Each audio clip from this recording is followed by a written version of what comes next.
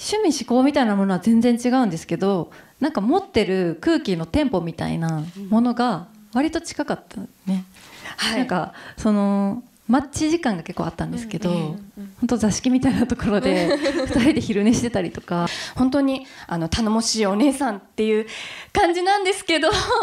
でもあの撮影が終わってホテルに戻るとふらふらっと売店の方に行ってなんかすごい可愛らしいぬいぐるみを買ってそれを相棒にされていたり、はい、あの一緒に温泉に入った時には湯船に浸かりながらお話をしてたんですけど。うん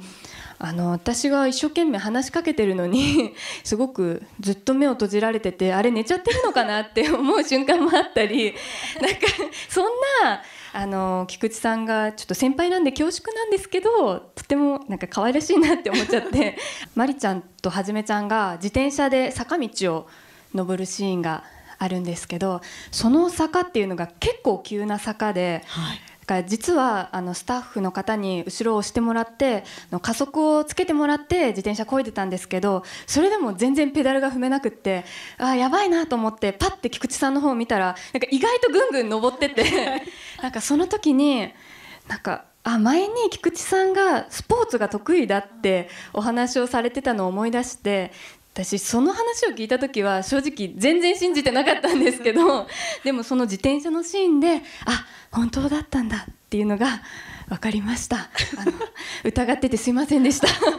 そんな風に思ってたみたいですけど。あの私あのいやスポーツ得意なんですよ。スポーツ得意なんですけど、はい、本当になんか文化系のイメージがすごくあるみたいで、えー、運動絶対苦手でしょって言われるんですけどあの田舎育ちなので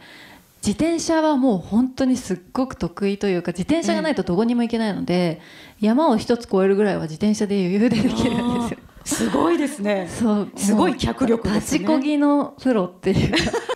一人の女性が東京から田舎に戻ってかき氷屋さんを始めるお話ですっていうそれだけを言ってしまうとなんかすごく